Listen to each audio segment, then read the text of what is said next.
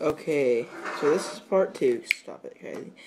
Anyways, this is my second part, but I discovered because I had to go review that last video because I got very, very, very curious about the my the speed test before and the speed test now.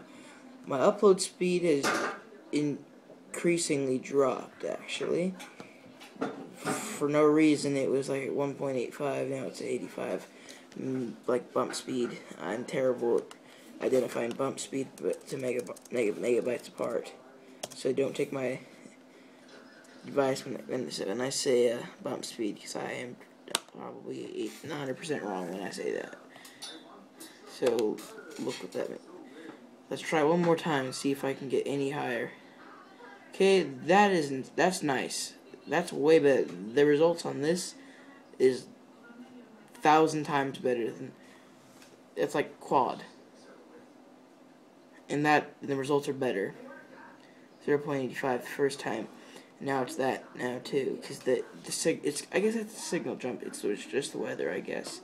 Let's try it one more time, just for good keeping, safekeeping, shall we say. The internet actually is a lot faster when I reset. Well, well in the stats I'm about to show you, let's try it one more time, just for safekeeping though.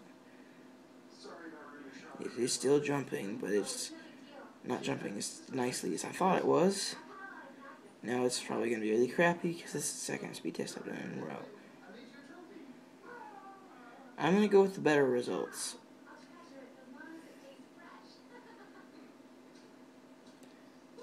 Bad results. Those are terrible results. But that's just because it's the second speed test, so we've got that like all qualified. So now I'm going to take you. Uh, yeah, I'll take you. Oh, no, I won't take you down there. But what you're going to do, and let me get a picture of a router up here. Google. I, we have Apple modem, so, well, Apple, wait, yeah, we have an Apple modem. Hold on second. Picture of an Apple, Apple modem. Dang. That's not very impressive. Hold on.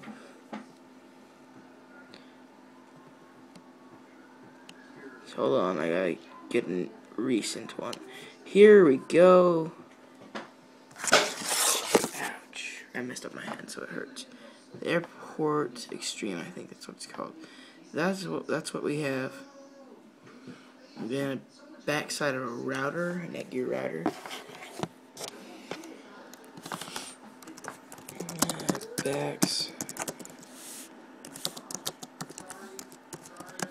Sorry about that, my sister. I still live at home, still, unfortunately. But I do. okay, let me find my model real fast. I'm gonna keep talking to you to try to block out some of her noise. So, um, hold on.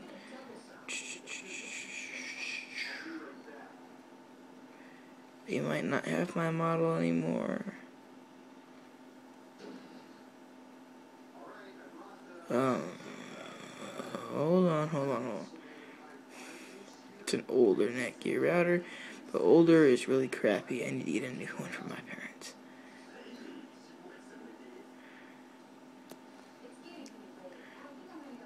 Uh, hold on, hold on. I'll find it and just here, hold on. Hold up, hold up. And oh Netgear router.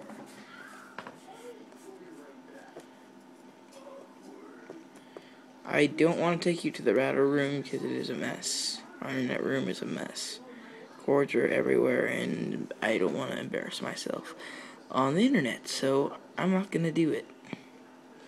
Sorry, all those people that were wondering I was going to show them my mess. I won't. Here, screw it. I'm just going to find the back of any old router. I don't care. It's not going to make any difference because most of them are the same. Well, not the same configuration, but I can kind of...